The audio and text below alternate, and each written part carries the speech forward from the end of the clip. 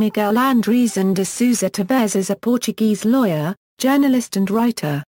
The son of poet Sophia de Mello Breyner Andresen and lawyer and politician Francisco Sousa Tavares, Miguel received his education in law, eventually pursuing careers in journalism and essay writing for which he became known.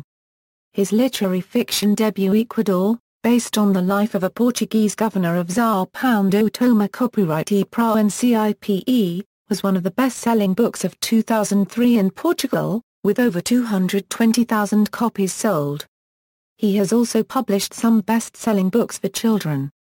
He currently writes a weekly column of political commentary for Expresso, and contributes to the sports newspaper A Bola.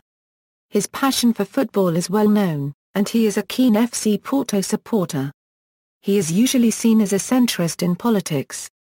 Personal life he first married in Estoril on April 7, 1973 and divorced Mariana Espirito Santo Bustos Silva, daughter of Anticube Nioza copywriter Gio Carneiro Bustos Silva and wife Ana Maria da Anuncia Picavolt Pound Oda Fatima Cohen do Espirito Santo Silva, and has two children, Pedro Bustos de Sousa Tavares, who by Sofia Barcela Borges has a son Miguel Barcela de Sousa Tavares and Rita Bustos de Sousa Tavares, wife in 2002 of her cousin Ricardo Espirito Santo Bastos Salgado, son of Ricardo Salgado and wife Maria Jo Poundo Leal Color Section Ada Bastos, by whom she has one son and two daughters.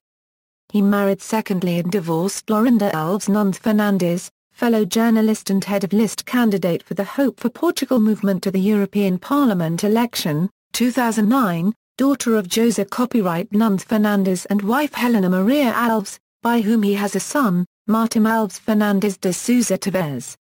He divorced for the third and alone since 2009 Cristina Pinto Basto Avides Moreira, daughter of Miguel de Viveiros Avides Moreira and wife Helena Elizabeth Jalia Ferreira Pinto Basto, without issue.